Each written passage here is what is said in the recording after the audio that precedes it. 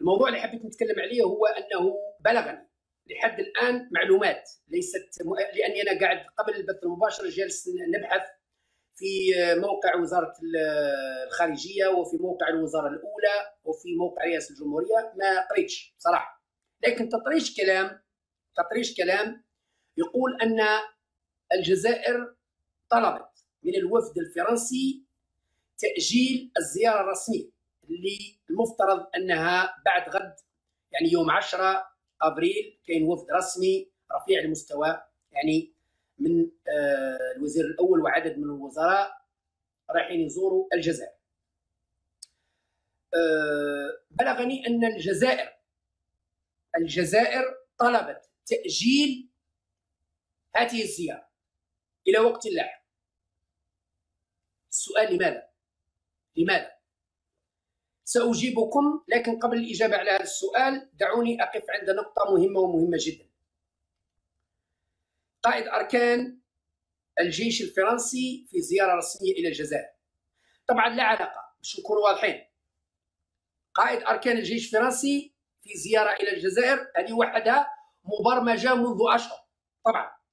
والوفد الرسمي السياسي بقيادة وزير الأول الفرنسي هذه منفصلة نفس الشيء ومبرمجة منذ أشهر.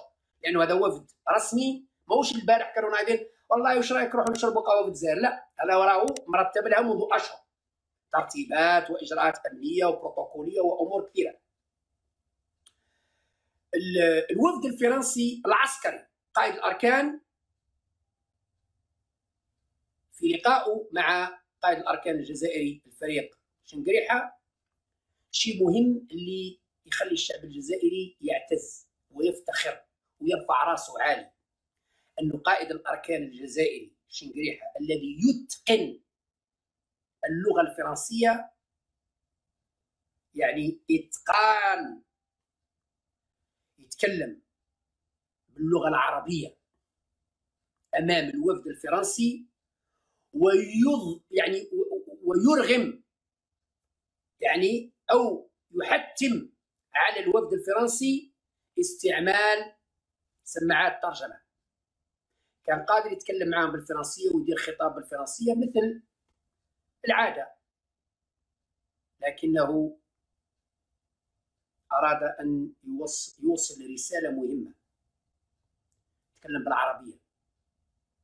وسائل الإعلام عندنا مانيش عارف علاش ما انتبهوش لهذه النقطة المهمة اللي عندها قراءة سياسية واجتماعية وثقافية وفنية وعسكرية وأمنية كبيرة. أحيي تحية الجزائر. لجزائري فحل. يعني مش غريب على شنقريحة أنه يعطي درس لباقي المسؤولين الجزائريين. أنا بالنسبة لي قائد الأركان أراد أن يوجه رسالة لباقي الوزراء والمسؤولين أنه لما تكونوا مع وزرائكم الأجانب تكلموا بلغتكم الرسمية الجزائرية. تكلموا باللغة العربية تكلموا معاهم. ربي يحفظ اللغة العربية. أنا ما نبجلش الرؤاسه ربي يحفظ قائد الأركان. لا دار ما دارش فينا مزيه قائد الأركان شنقريحة ما دارش مزيه فينا. ما نقولش كثر خيره لا. نقولوا أنه قام بالواجب تاعو. تكلم بلغة الرسمية الجزائرية وبالتالي نحييه تحية الأحرار الشرفاء لقائد الأركان الفريق شنقريحة الذي رفع رأس الجزائر والجزائريين واللغة العربية الرسمية في الجزائر رفعنا عالي. تحية نقطة يسار بخصوص الوفد السياسي الفرنسي أنا بعد ما بحثت أه وسقسيت واتصلت يعني ببعض المصادر آه، اللي ثق فيهم طبعا. توصلت النتيجة هي أنه آه، وفد فرنسي يزور المغرب.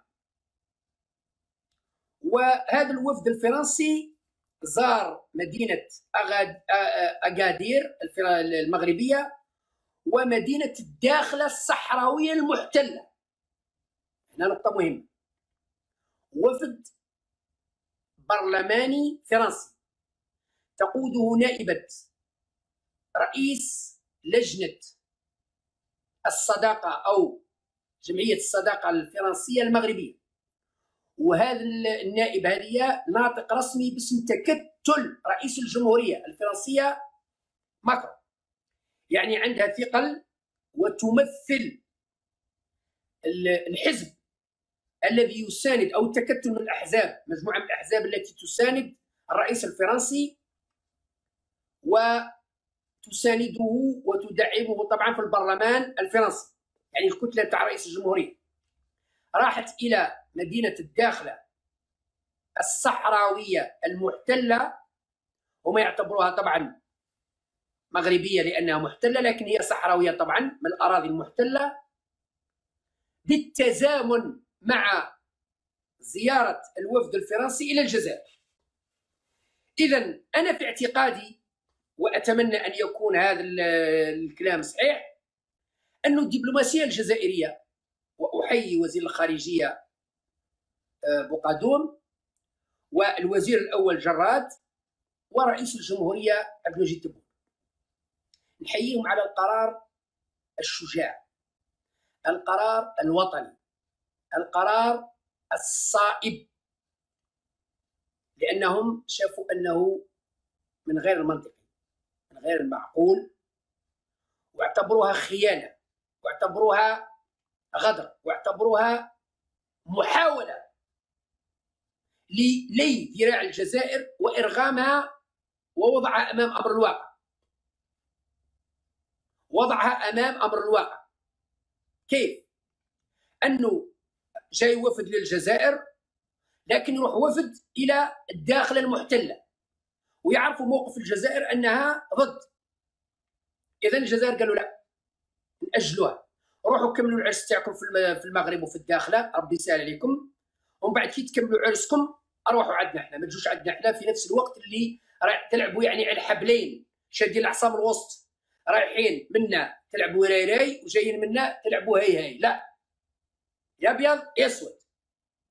جايين عندنا وفد رسمي ما تستفزوناش لأنه زيارة الوفد الفرنسي إلى مدينة الداخله المحتلة هو استفزاز للجزائر في هذا الوقت بالذات لأنه لو كان راحوا لمدينة الداخلة المحتلة في أي وقت الله يسهل عليهم هذا أمر يخصهم يروحوا في الصيف في الشتاء في عاشوراء في رمضان ربي يسهل عليهم. لكن أنكم تروحوا بالتزامن بالتزامن مع زيارة وفد رسمي إلى الجزائر لا ما نقبلوهاش. اذا كملوا العرس تاعكم بالقايطة والبندير في أكادير المغربية والداخلة الصحراوية. ومن بعد كي تكملوا العرس تاعكم أروحوا عندنا الجزائر. اذا أحيي الدبلوماسية الجزائرية وأحيي الدهاء والذكاء الجزائري في هذه النقاط. أنا موقفي واضح.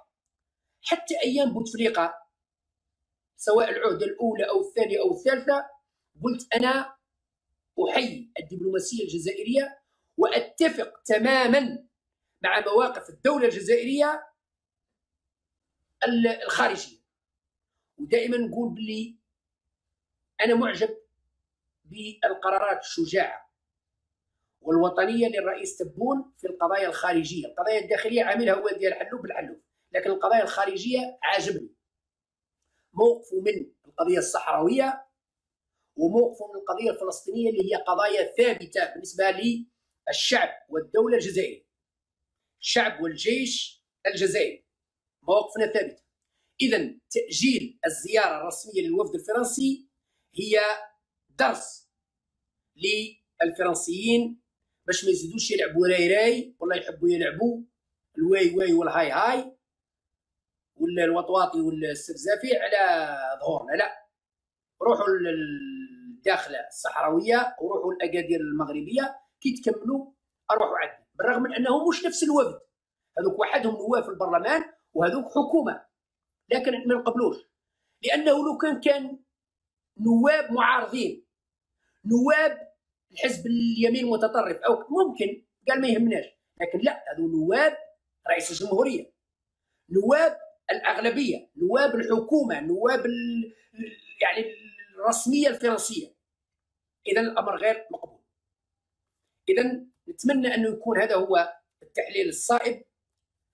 آه، أعود وأحيي قائد الأركان الفريق شنقريحه على الموقف الرجولي الموقف الوطني والموقف الثابت الذي يؤكد ويبين ويبرهن أن الجزائر بالفعل تسير نحو عهد جديد ونحو عقلية جديدة ونحو تثبيت المواقف الثابتة اللي هي لا للمساس بمقومات الأمة. الإسلام دين الدولة. اللغة العربية هي اللغة الرسمية في الدولة الجزائرية. نعم اللغة العربية. وحدودنا مع دول الجوار الأرض والعرض اللغة والدين. قائد الأركان لما يتكلم ويبدأ بسم الله الرحمن الرحيم ويتكلم بالعربية هذه رسالة واضحة وصريحة لا غبار عليه.